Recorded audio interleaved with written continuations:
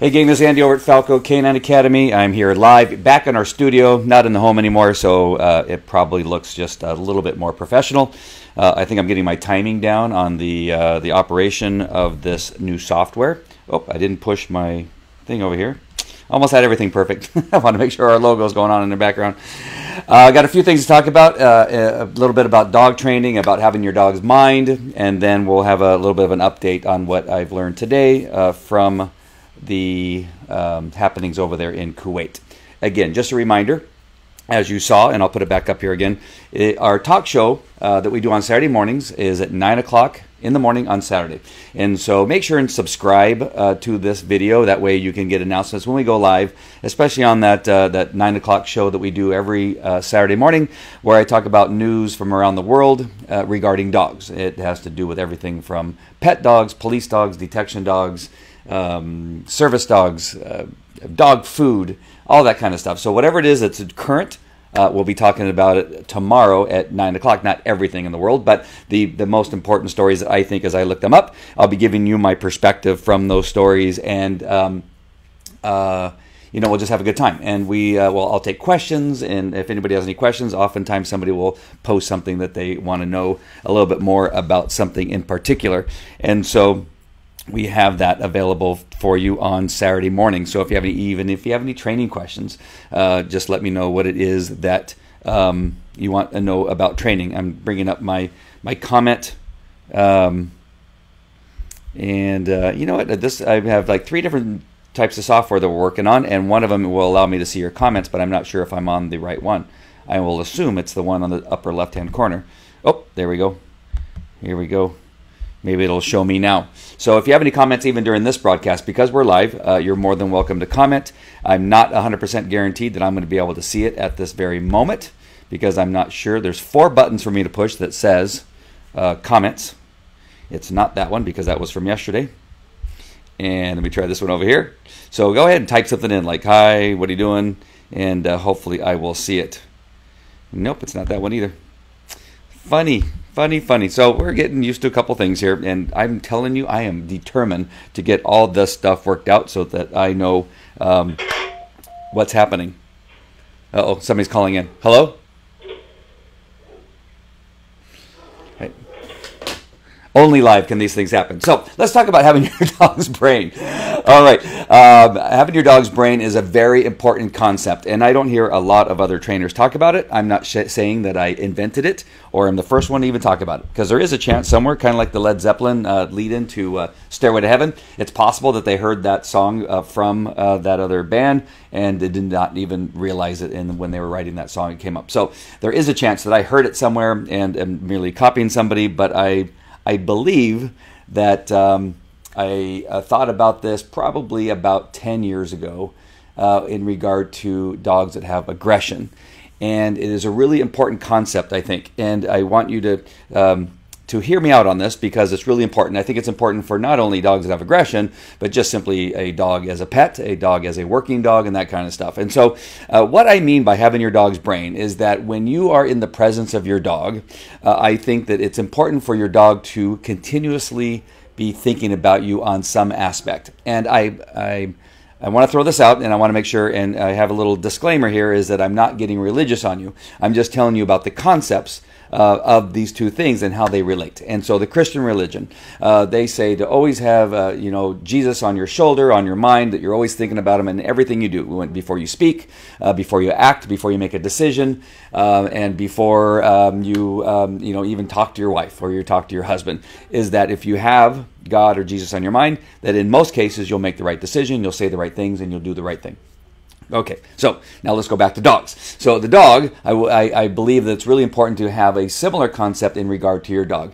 So you set up your rules and boundaries and training and your life with your dog so that you can um, not guarantee, but you can make it um, uh, a a habit for the dog to constantly think about what you are doing and what it is that's happening in this dog's life. And so when uh, the squeaking noise of the mailman comes, if you've done your training properly, if you've set your rules and boundaries that there's no scratching the door, jumping against the door, pulling down the drapes, or pulling down the uh, the mini blinds, whatever it is, if you've set up your training right, your dog will hear those squeaking brakes. And if it's had a history of doing all the things I just described, that when it hears the squeaking brakes, that it'll hear them and then turn to you and say, ah, you know what?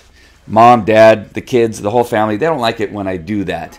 Um, I want to do that there's nothing more in my being right now that I want to go and growl and snarl and, and feel the power of chasing that mailman off again, you know, because they do it six days a week, right? Or they have at least up to a point where you train them not to do it.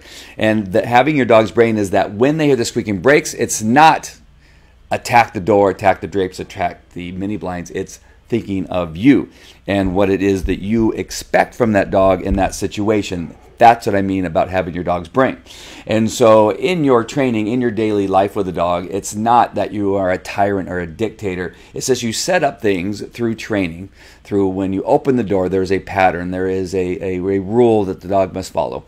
When you feed the dog, having the dog sit and wait and stare you in the eyes and wait for your command to eat. When you do these things, you're setting yourself up for success in regard to having your dog's brain because everything you do uh, in regard to with the dog and associated with the dog is that the dog is looking to you for direction and you teach your rest of your family members that same thing and i think it's very powerful and especially in dogs that have aggression issues or dogs that have real bad behavioral issues is that you have some aspect of them thinking about you and then making the right decision based on how you've set up the training, the rules, and the boundaries in the life of that dog. So uh, that's what I mean about having your dog's brain. And there's more uh, that we have in our falcodogtraining.com website with all of our membership sites. We talk about that in more detail and talk about the principles behind it and that kind of stuff. So uh, even if you're a trainer, if you're a trainer, we have a train the trainer program in there for you uh, that is growing all the time. And um, I'm, I'm, working on some new videos to put on the train the trainer program. If you're watching this in you know the bed bug detection dog uh, area, again, same thing. Um, we're working on some things. I, not too long ago, I put up a, an article I wrote on uh, accidental uh, click and train uh, uh issues. That uh, syndrome is what I called it uh, in there too. So in all those sites, we're, we're adding stuff all the time. So if you want to learn more about that stuff, feel free to go there or simply give us a call and join us on one of our training programs. All right, an update on Kuwait. Let me go to our, my Facebook page here because I got a, an article sent to me today that. Um, uh, just another source that, uh, that, that, the problem hasn't been solved yet, and we don't know that much more than we did before, except for there's more confirmation from a military website who put out an article and says, uh, just gives us some more numbers and kind of either confirms or coincides with the information we have given. And so it says that um, there are the, uh, the deaths of 24 to 40 dogs and the possibility of 90 additional dogs. So what in this article says is that the um, the contract that Eastern Securities had uh, that got canceled left them with 140 or more dogs. So at least 140 and maybe more dogs were involved in this contract that they had with the petroleum companies there in Kuwait. And when that ended, uh, it left them with 140 dogs. Now, their reasoning now in this article for uh, euthanizing the dog is they just could not afford to feed them and uh, take care of them. It was just too costly. So at least we're uh, in this article we don't have the the lie that all the dogs were aggressive and that it was simply a financial decision, which uh, many of us thought in the beginning anyway, is that they just didn't want to pay for taking care of them, and instead of looking out. Um, you know, reaching out to um, you know the internet. It's so easy now to reach out to a large audience right? Uh, i know i just looked on my thing. I have 22000 people that have seen our posts that we put up over the last couple days. And so uh, it's not that hard right? You, you put something up you give it a, a title that people are interested in and um, you know you can reach people right uh, i'm sure out of the 22000 people that are uh, you know viewing what it is we're doing here and if if any of them shared that out we would be able to find somebody to, to take care of one or more of those dogs and um, and some people even ready to donate money to help save those dogs right? these dogs need help um, other than that uh, this article does not say that there's any still alive. It doesn't say that they're all dead. It, we just don't still we still don't have any further information, and um, the source for this one is the uh, it's it's an acronym S O F R E P S O F R E P and uh, it's a military site. I clicked on it earlier, and let me just go ahead and do that. I know this is really exciting to watch somebody uh, type on their computer. Um, oops, didn't mean to hit that. I hit print, so I don't want to print. And let me do it one more time. Search Google. It stands for Special Forces News Military Intelligence Special Ops. And that's the website. So it's S O F R E P dot com. Yeah, dot com. And uh, you just go there and you'll see some interesting articles. Now, they don't give you all the articles because you have to join to be a member. Uh, but the person who sent me the um, article um, found it and sent it to me. So it's the special operations, and uh, I already lost it. it doesn't say on their website what it is, but I just read it out. So anyway, you can go to that website, sofrep.com, and you can find that article. There's some other interesting articles about the what's going on in our military, and um, and so that's the update from Kuwait. Uh, not a lot more, not better news. Uh, we don't. We still, as far as I know, have not been inside. I'm sure I would have uh, had some type of uh, message from somebody, and including my source that's out there that's uh, you know, looking into it. And uh, there's nothing yet, but just more confirmation of what is going on with there. And now the company actually saying that it's because they couldn't afford to take care of the dogs and and that kind of stuff. So. All right, so that's going to wrap it up. Don't forget our show tomorrow at Saturday uh, Saturday morning at nine o'clock, uh, June twenty fifth. We'll be going live, and uh, I think I'm going to be going live from our, our park again, our training location uh, out there in, in Brea on Berry Street, or just off of Berry Street. And, uh, and so we may uh, do some more stuff right after our live show and show you some live training of the dogs that are out there. We have a very large group.